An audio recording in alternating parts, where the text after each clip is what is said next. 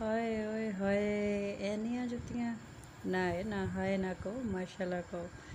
जनाब जी जूते तो बड़े ने, पर इन्हों कैरी करना इन्हों संभाल के रखना, ये हर किसी का बस नहीं जनाब।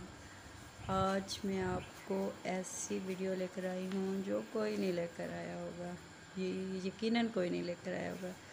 ये हमारे घर के यूज़ेबल जूते हैं सारे, ठीक है? तो इनको अरेंज करके रखा हुआ है, देखें कितनी सफ़ाई से। ये शोन तो आप लोगों के सामने किए हुए हैं, वैसे तो ये अलमारी में ही होते हैं।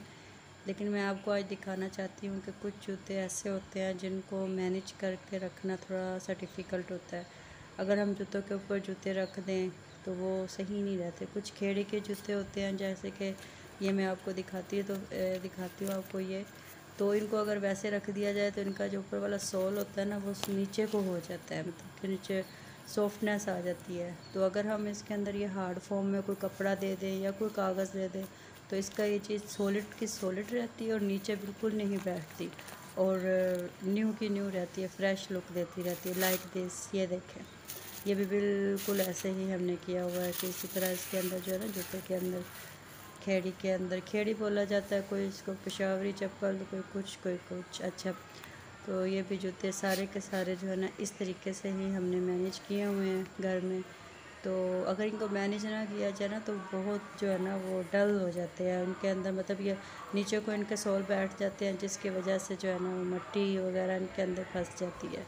हालाँकि ये सब पुराने जूते हैं, लेकिन आप लोग देख सकते हैं, ये कितनी फ़्रेश लुक है इन सब जूतों के।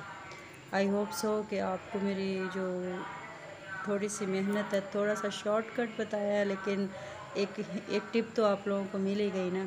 तो आई होप सो कि आप मेरी इस टिप को मद्देनज़र रखेंगे और अपने जूतों को ख़ास तौर पे जेंट्स के जो जूते हैं, इनको इसी तरह से मैनेज रखेंगे।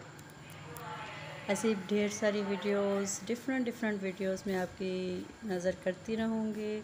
दुआओं में याद रखिएगा। अगर मेरे चैनल को आपने सब्सक्राइब नहीं किया तो प्लीज़ मेरे चैनल को सब्सक्राइब कर दीजिए और मेरी वीडियो को लाइक भी कर दीजिए। अल्लाह हाफिज़।